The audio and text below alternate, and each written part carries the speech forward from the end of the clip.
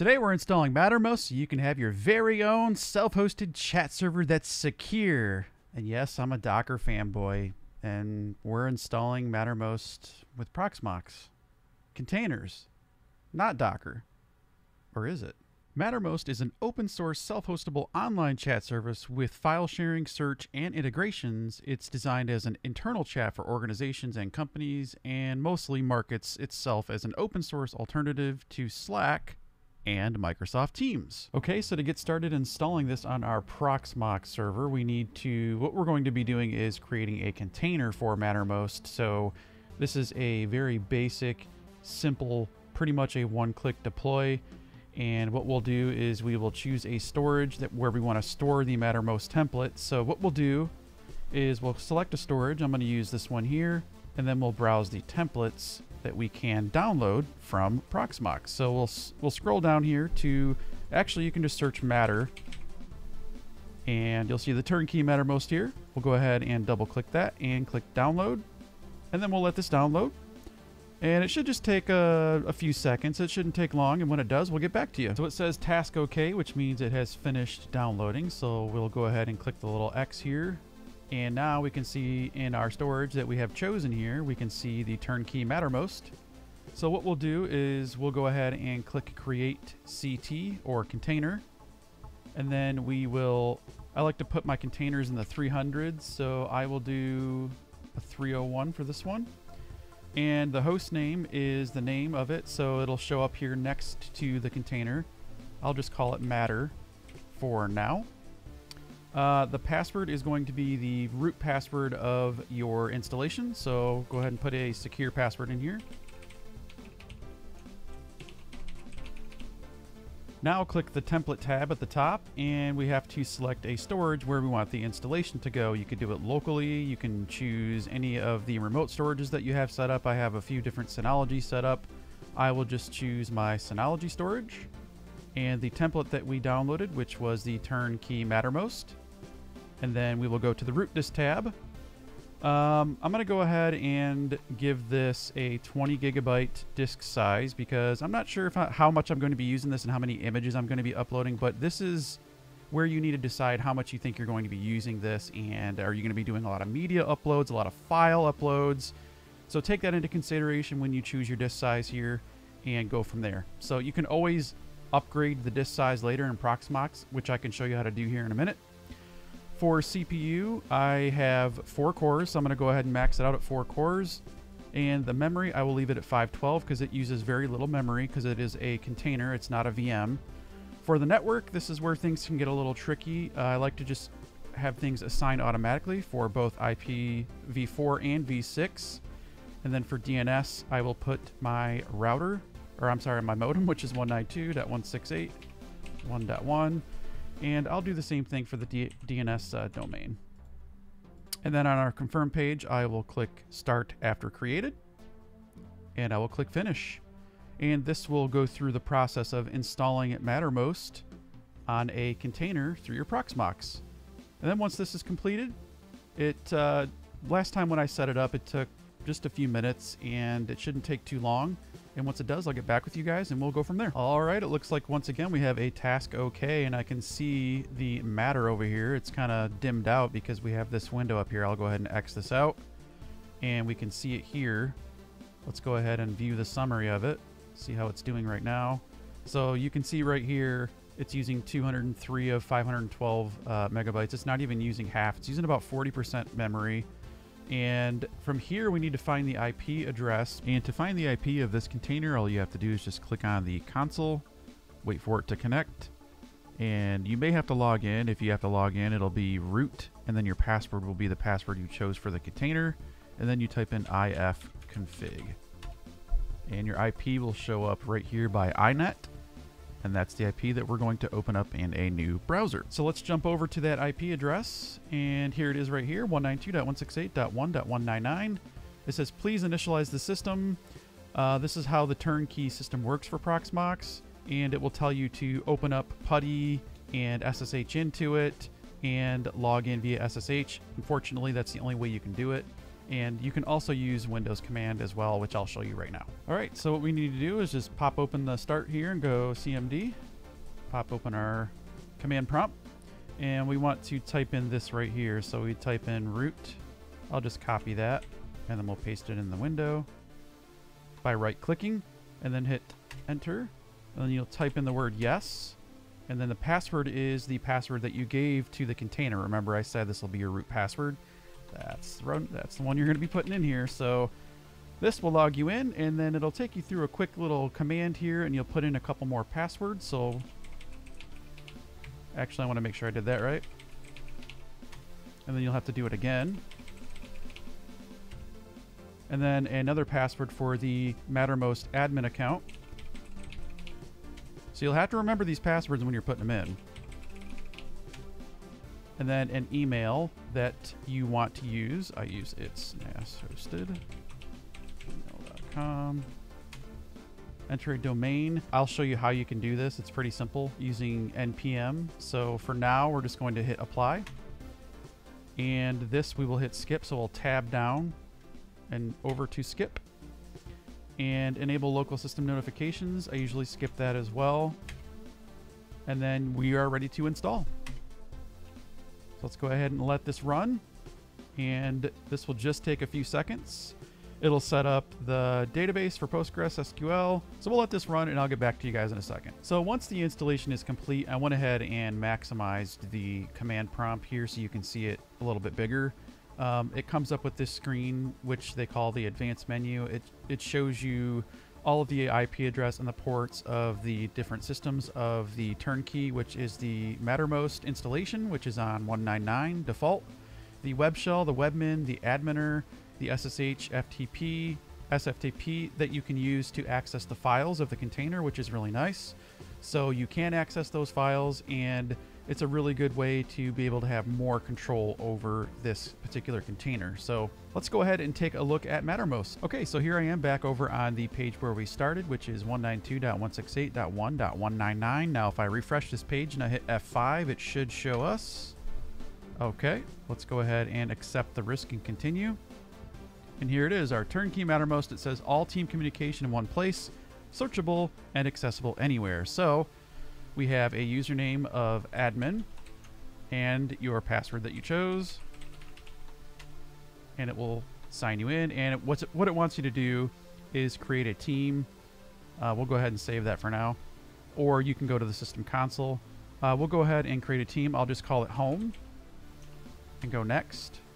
And it's okay that we don't have a domain name set up yet. And we can change that. And I'll show you guys that here in a minute and this it's showing you what it will look like. So we will click finish.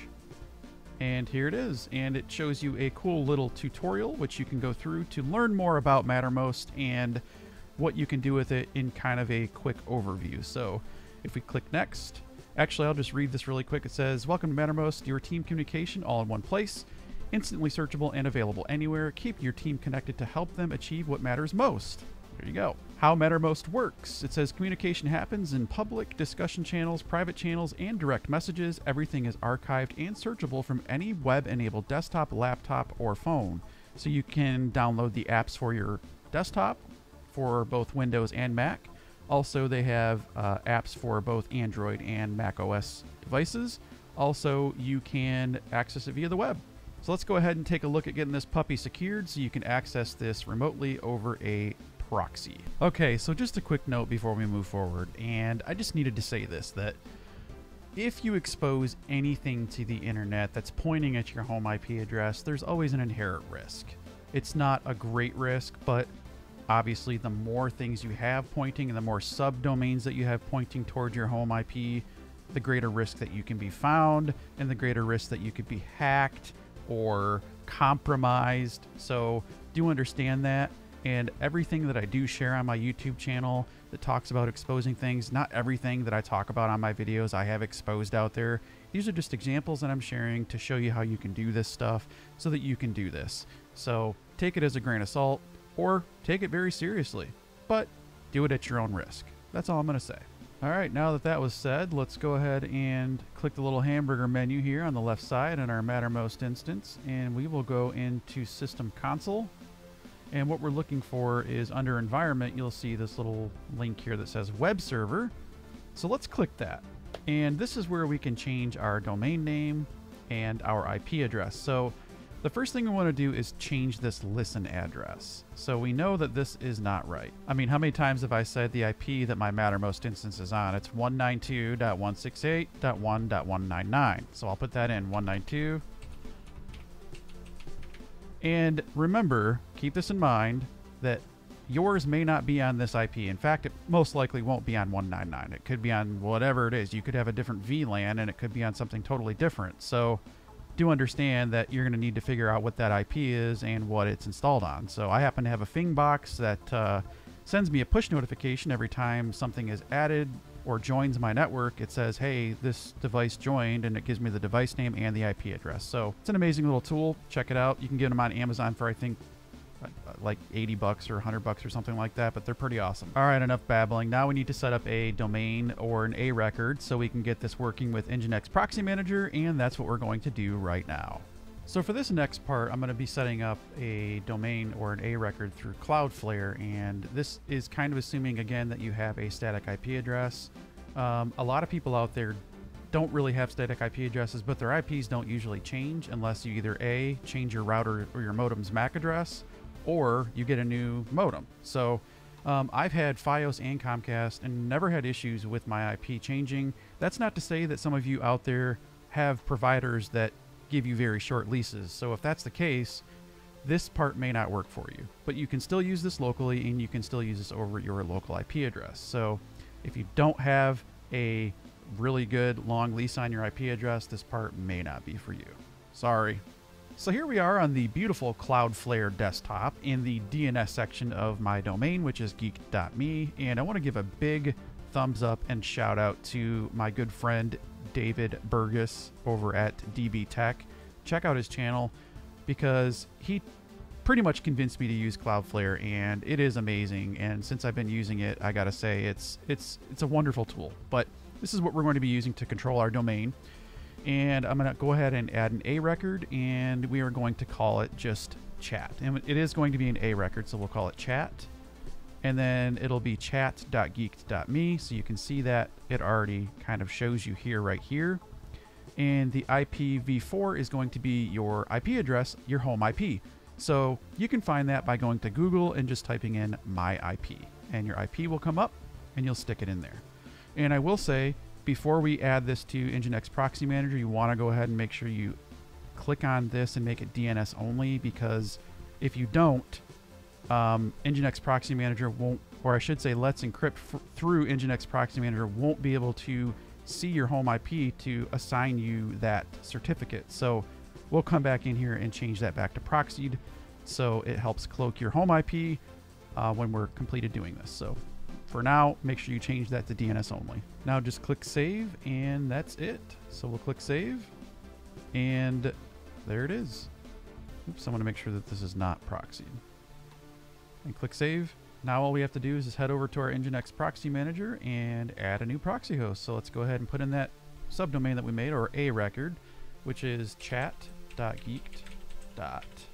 Oops, chat.geeked me. Sorry I have such a loud keyboard. It's one of those cheap mechanical ones from Amazon. Then we'll change this to HTTPS.